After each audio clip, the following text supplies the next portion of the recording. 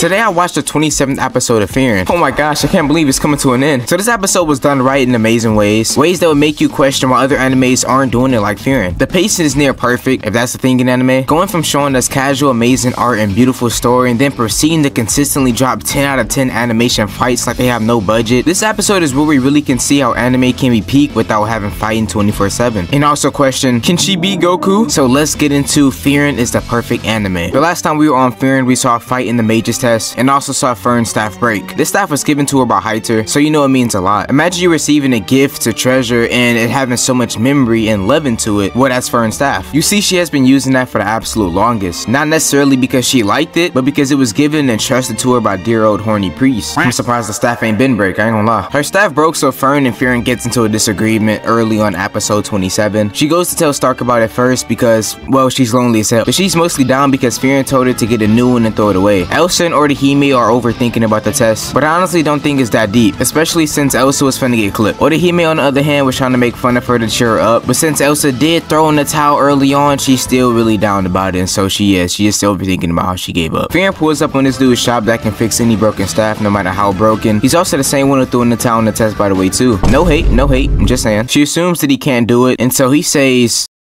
Get the fuck out. But he's a nice guy, so of course he could do it. This is actually a sweet moment on Frieren's part, since we know she has a hard time understanding humans, but still tries to understand or make them happy. Then Fern and Stark runs across the same damn shop. How convenient, huh? The guy that runs the shop then notices them walking by. ああお前フリーレンとこの弟子か Fern, speak damn it. So Fern enters the shop and comes to find her once broken staff laying on the bed looking thick as hell. She then comes to her senses and realizes that she can't be mad at Frieren for not understanding since she's an elf and she just be vibing for real. Another perfect look at pacing and storytelling because the ending of the last episode until now was really just them yapping for the story. But we missed out on how much they really skipped over. Like how did they go home after or how did Stark end up with that old ball dude at the beginning of the episode or even how they argue over the staff being broken. Thing is, we don't need it. We don't. That's why it's perfect pace in the storytelling, because we understand so quick without needing to binge 5 episodes of random unneeded bore. We get to the part to see who is passing and who is failing the test, but before we have this long, boring part about the old ass elf made Serie, I mean I'm kinda joking, to be honest it's not that boring at all. I love watching extra stuff like this that is good like this, but I'm just lazy, so Fern predicts that she will fail her and everyone else besides Fern, as Serie's intuition is always right, and she knows how she is. We get to it and, well yeah, she fails everyone. 不合格不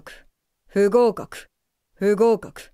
What do you say fuck me for? We get a flashback of him with the hero. Since Fion was so curious on why he actually picked her up in the group of heroes, she's like, I'm not sure what you got interested in me, pal, but I mean, I guess so, you know what I'm saying? Thanks. He then jogs her memory, and since when he was a little kid and lost, Fion helped him when he was lonely and showed him a spell to cast a garden of flowers to cheer him up. So in any case, he kind of repaid the debt. Fern was going to pass no matter what she said according to Fion, and I felt like that's kind of cool. Like every single time something was to happen with Serie or Fern, she already predicted. I mean, I guess is what we get for having a thousand year old MC that knows everything. So we head back into it and now we are on Fern who is getting judged by Serie for the Mages test. She even gave up the opportunity to become Serie's student because Fern is just a goat. I mean like Fern has literally been helping her all this time. She showed her an amazing adventure. She's got her stronger. She's made her mature slightly. It's all really good. Like I wouldn't want to like betray my master and like you know what I'm saying choose a different master because they'll make me stronger. But like my master as it is and I'm saying I'm just gonna get stronger than you are. You know what I'm saying? I'm pretty sure before Fern ends in the manga that Serie will most likely go against Fern. If not Fern will automatically just probably become better than Serie or even stronger. Fern humbled Serie this entire episode by the way, not to mention predicting her answers, but also just reading her like a book and knowing Serie from back then. This anime shows you an amazing plot, storytelling, character development, and geography. There are a lot of reasons why Fern may be bad in people's eyes or maybe amazing or maybe even the perfect anime, but to me, this is maybe the reason why I feel like Fern is the perfect anime.